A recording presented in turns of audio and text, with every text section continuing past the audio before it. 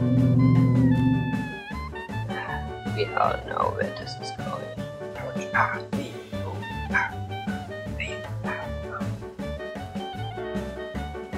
I hate this day.